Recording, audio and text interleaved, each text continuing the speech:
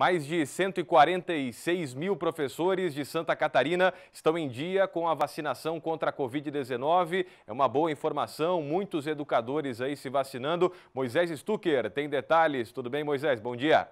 Ótima informação, bom dia para você, Rodrigo, bom dia a todos. Então, com o avanço aí da vacinação contra o coronavírus em todo o estado de Santa Catarina, o governo aqui do estado divulgou então essa informação que cerca de 146 mil profissionais da educação já receberam pelo menos as duas doses ou a dose única dos imunizantes. Sendo assim, cerca de 73% dos professores do estado estão com esquema vacinal completo contra o coronavírus.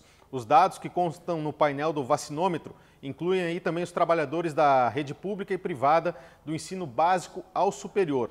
Até o momento, estima-se também que mais de 201 mil profissionais, entre aí professores e trabalhadores da educação, também já receberam aí o esquema vacinal completo. Essa boa informação veio do governo do estado, né, Rodrigo? O avanço aí da vacina contra o coronavírus, cada vez mais aí a população sendo imunizada e fica esse, esse dado aí super interessante e importante aqui para todo o nosso estado de 146 mil professores já com a vacinação completa contra o coronavírus. Rodrigo.